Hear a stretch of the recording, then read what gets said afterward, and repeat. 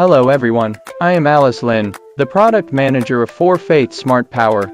Next, I will introduce to you the quick installation process of Four-Faith's intelligent fault indicator JYZ-HW fault indicator. First of all, introduce the indicator and installation aids to everyone. They are the indicator installation tool, the indicator, and the fixture of the indicator. The installation tool of the indicator shown now. We can see that it is in the shape of a cup, with fixed iron pieces on the left and right sides. A spring inside the tool. And the bottom bracket of the tool is a sleeve used to connect the hot rod. The structure of the indicator shown next, we can see that the U-shaped part of the upper part of the indicator can be opened.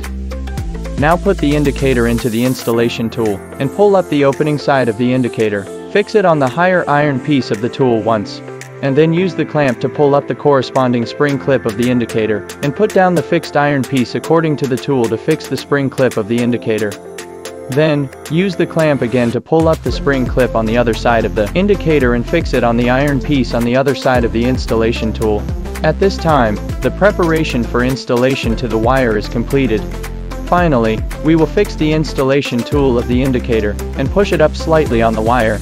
At this time, the fixing iron piece of the installation tool will loosen the spring clip of the indicator, and the indicator will be fixed on the wire. The rod retracts to the ground, completing the installation.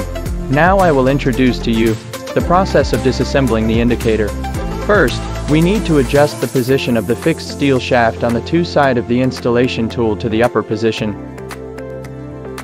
Then put the installation tool close to the indicator, put the indicator into the installation tool, and apply a little force. Push up to make the indicator completely out of the installation tool, then pull down with a certain force, and turn the installation tool left and right to separate the indicator from the wire. And then complete the disassembly of the indicator.